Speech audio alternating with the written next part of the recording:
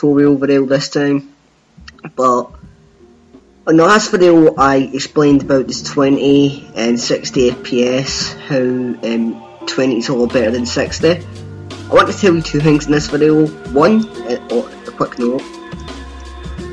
Fuck 20 and fuck 60.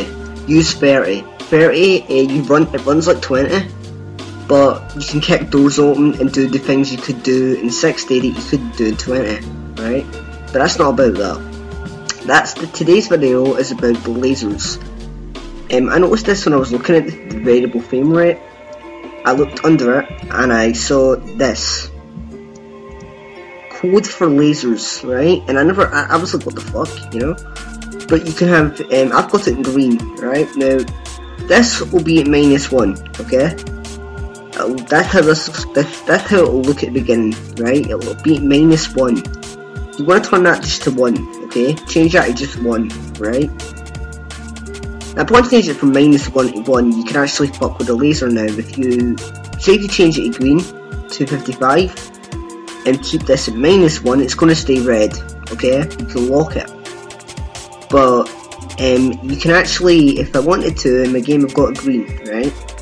So in all my videos you see, uh, I always use a green laser, right? I like green, it's dead, it's a dead, um, bright colour, and uh, it's a great colour for, um, for, kit, for hit, hitting good shots. But red, red's your default, um, it's not the best, I think red's pretty open. Uh, I played through the entire PS2 version of Resident Evil 4 with a red laser. I'm kinda sick of it, so I went with green laser this time. Green's great. Blue's just as cool.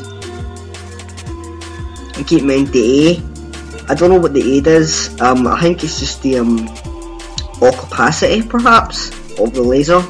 But I've got it at 1, so that's how you, you know, you can edit your laser pretty much. Uh, I could show you some gameplay with the laser, but I, um, I can't show you them all, you know. I mean, there's three, but it would take me a bit of editing to do that, to put something like that together. You know what, uh, I'll do it. I'll, right, I'll be back in a second, guys. I'm going to change my, show you it red first, okay? I'll show you it red to start with, okay? Right, back in a second, guys, and you'll see a red laser.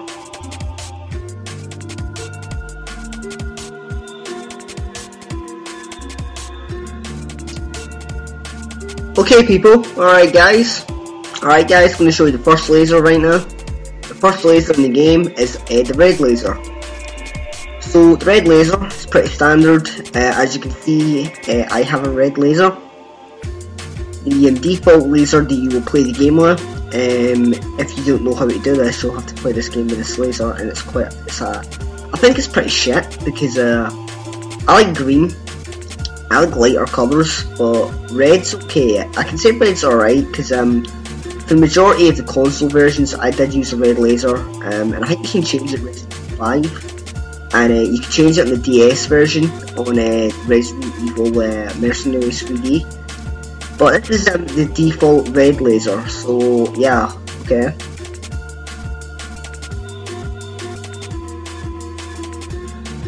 Okay, right guys, moving on. Uh, this is the second laser you can use in the game, the one I play the PC version with, which is pretty badass. I like this laser. It's the green one. I love the green laser. Uh, as you can see, stands out a lot more from the red. Um, uh, it's really, it's actually really good. Uh, I gotta admit, this laser is the coolest laser I think because uh, just how just how um, stands out in your gun, you know. Like with the lasers, I've heard people say they'll want to like remove their laser from the weapon. But in this game, uh, I think green's pretty cool because uh, green it's more realistic. I think personally. Most lasers are red, but you get the, the old, you know, green laser every now and then. I've seen this in a few movies, and uh, I like this laser pretty much. Good laser.